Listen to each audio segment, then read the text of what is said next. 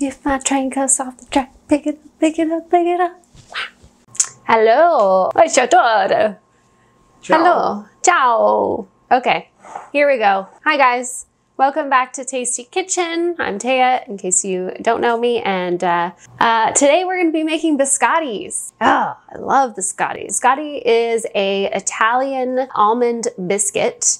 We're actually going to be making it the American style, which includes some fat. It's a very simple recipe, and I think people get a little intimidated by it. I'm not entirely sure why. It's a twice baked biscuit, and I'm going to show you uh, how to make it. So,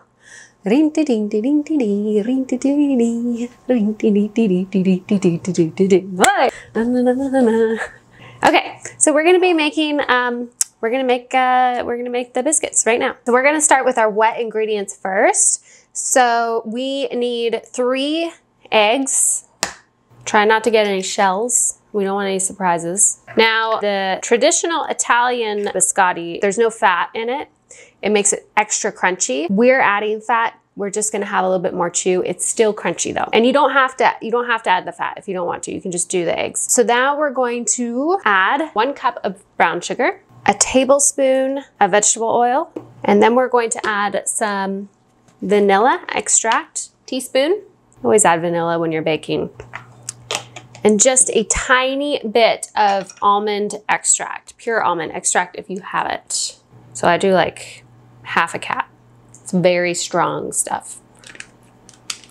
Okay, so we're gonna mix this up. The see, see it's already pretty easy, isn't it? I can smell the almond already. Okay, we're gonna set this to the side just for a minute. And then we have two cups of all-purpose flour. We're gonna add a quarter cup of butter and we're just gonna break it into the flour just with our hands or if you have a pastry cutter you can use as well. Okay, so once this is like pea-sized pieces. We will add some salt and some baking powder. Okay, so we've broken up the little bits of butter. Now we're gonna add a teaspoon of baking powder and just a pinch of salt and some crushed almonds. So you can do roasted almond slivers if you have them. I didn't, so I just took um, roasted almonds that I had and smashed them up. We're gonna add those about, if you can, about three quarters of a cup. You're gonna mix it in that. The Biscotti comes from Tuscany. Fun fact of the day, and I love them. They're great in the morning to dip your coffee in, and they store really well especially if you don't use the fat, they're, they, they hold up very well. Okay, so we're gonna add our um, wet ingredients now to the dry. I'm gonna mix them up. By the way, guys, preheat your oven. Your oven should be preheated right now to 350. And you do wanna line baking sheet with parchment paper. We're gonna mix this up. Okay, so we mixed up our batter, uh, our dough. You want to make sure it's sticky, but not too sticky. So if it's overly sticky and sticking to your hands, add uh, a tablespoon at a time of flour because it'll all depend on, um, you know, the size of your eggs, all sorts of things. So once you mix it up, put it on a floured surface and we are going to kind of shape it into like a, a log and then you want to flatten it down. It Doesn't have to be perfect. It's still sticking. Okay, let's let's redo this. When you shape it, shape it on the parchment paper instead of on the ground. That way it's where it is and it's gonna bake where it is. Okay, so we're gonna shape and it should be sticky. So don't fret if it's a little sticky. So you want it to be about an inch thick. About, if, if it's a little bigger or a little shorter, it's okay. Okay, we have our shape here.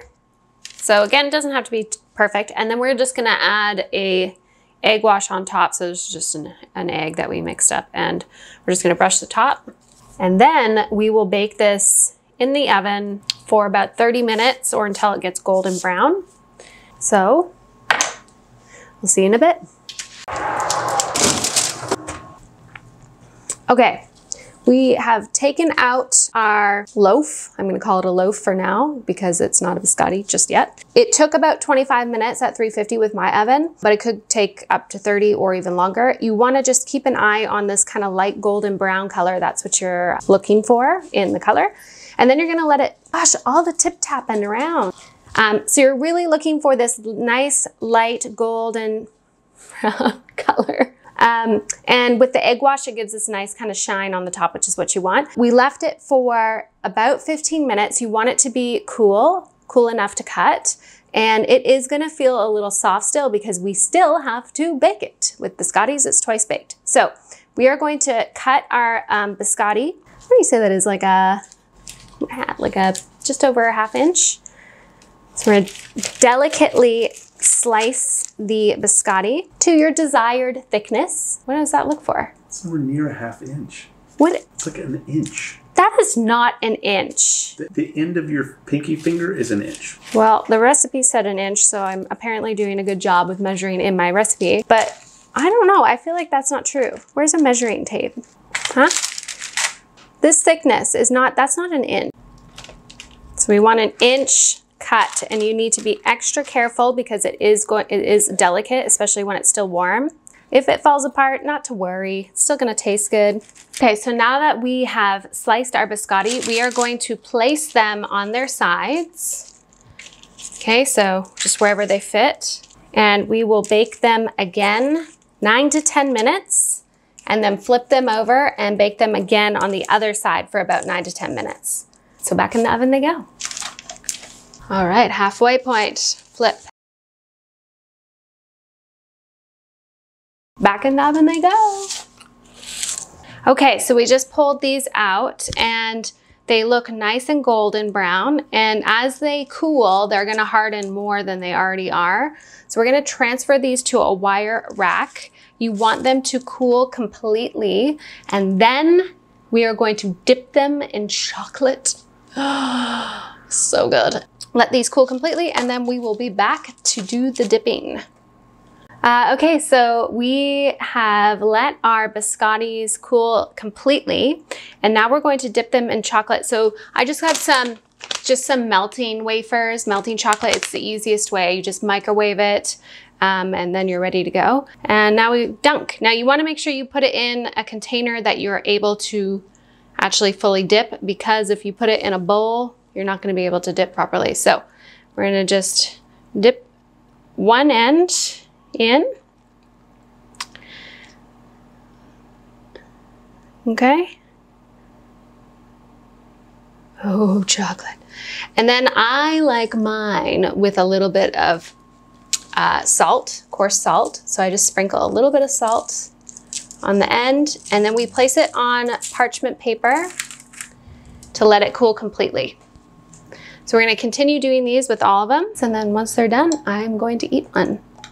So these have set up, it takes about five ten minutes for the chocolate to set. And so now we are going to try one. Let me get the one with the extra chocolate.